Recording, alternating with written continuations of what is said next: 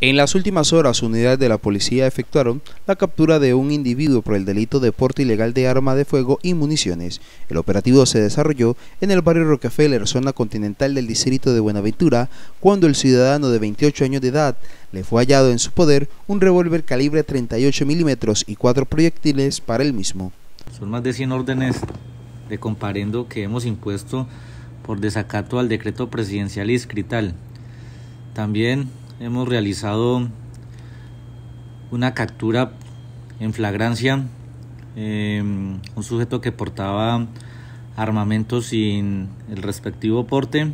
Igualmente también se realizó la captura por orden judicial a un sujeto que em, tenía un proceso por porte de, y fabricación de armamento. La invitación es para que la comunidad cate la norma y así podamos prevenir la propagación de la pandemia del coronavirus.